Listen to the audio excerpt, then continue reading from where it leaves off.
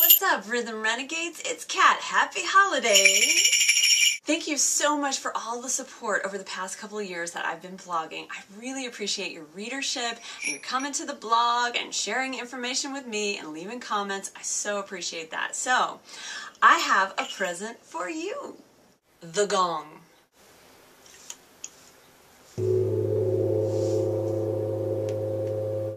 I got a contest down below this video that you can check out, but first I want to show you a couple of ways that I use the gong in my life, in my practice, in my everyday being. I want to give you a creative spark for your imagination when you enter the contest below.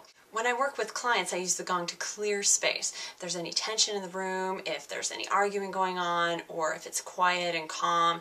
The other way I use it in my personal life is if I'm ever feeling any tension or any stuck, stuck energy, hit the reset button on my day then I hit the gong. After a wild, wild party, you can strike the gong in order to focus yourself and make sure that you're ready for a work day. To mark the beginning of a session or a ritual, you can use the gong to mark the end of a session or a ritual. When you have guests in your house, you can ask them what they wish for and then invite them to strike the gong in honor of their wish. Invite your guests to strike the gong as they enter your home.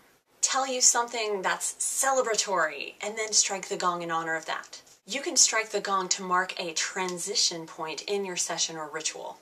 In remembrance of a loved one who's passed, to celebrate a birthday. You can invite people into the center of the circle one by one to strike the gong. You can hold the gong way up high to encourage people to reach way up high and stretch. You can use the gong to bring peace into your session or ritual. You can use the gong to bring peace into your home. Jingle bells, jingle bells, leave a comment down below. Tell me why you want to go.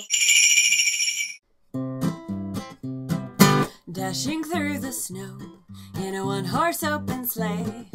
O'er the fields we go, laughing all the way. Bells on bobtail ring, making spirits bright. What fun it is to ride and to sing a sleighing song tonight.